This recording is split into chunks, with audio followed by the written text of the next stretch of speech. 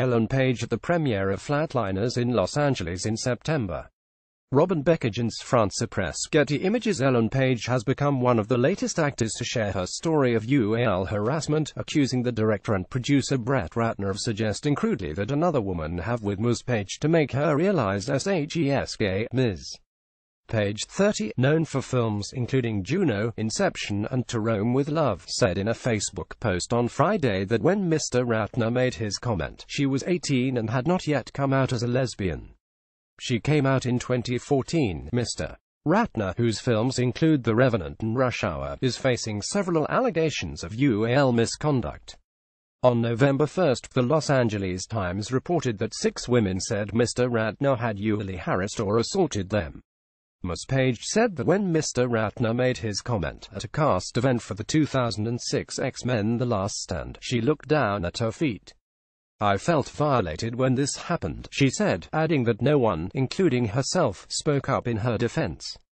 Another actor, Anna Paquin, said on Twitter on Friday that she was there when the comment was made. I stand with you, she added, tagging Ms. Page. If you can't think of the glaringly obvious reason I remain silent, Ms. Paquin said in a subsequent post, then perhaps you've forgotten that I've been in this victim grooming industry since before I hit puberty.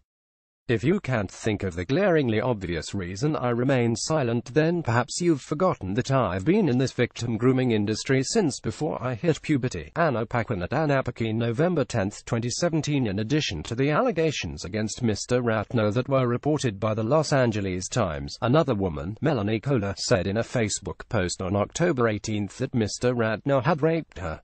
She took down the post after a phone call with Martin Singer, a lawyer for Mr. Ratner. Mr. Ratner went on to file a defamation lawsuit against. Kohler that said her post was entirely false, fabricated and fictional. In statement to the New York Times regarding the other allegations, Mr. Singer said he and Mr. Ratner are confident that his name will be cleared once the current media frenzy dies down and people can objectively evaluate the nature of these claims. Mr. Singer did not respond immediately to an emailed request for comment on Saturday about Ms. Page's allegations. Ms. Page's lengthy post was more than an accusation against Mr. Ratner. Brett Ratner in Los Angeles in January. Chris Delmas Agence France Press Getty Images The behavior I'm describing is ubiquitous, she wrote. Their abusers want you to feel small, to make you insecure, to make you feel like you are indebted to them, or that your actions are to blame for their unwelcome advances. She recalled being touched or assaulted by at least two other men when she was 16, and she said she regretted working with the director Woody Allen, who has also been accused of abuse. Ms. Page, who developed and produced Gaycation, a documentary series in which she traveled around the world meeting lesbian, gay, bisexual and transgender people, called Violence Against Women an epidemic, and her post touched on homophobia, privilege, victimization and white supremacy. Let's remember the epidemic of violence against women in our society disproportionately affects low-income women, particularly women of color, trans and queer women and indigenous women, who are silenced by their economic circumstances and profound mistrust of a justice system that acquits the guilty in the face of overwhelming evidence and continues to oppress people of color, she wrote, adding that she had the privilege of wealth and a platform to speak out. A representative for Ms. Page said she was not available for comment.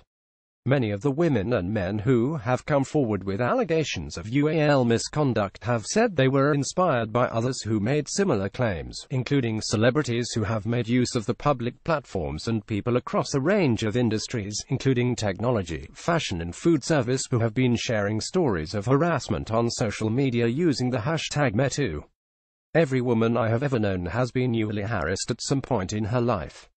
MeToo support the brave women coming forward now. Heart Duels at JW4 Resistance November 4, 2017 With all these brave PPL coming forward to talking about how they were victims of rape other improper conduct perpetrated by men in power, it's him to support them.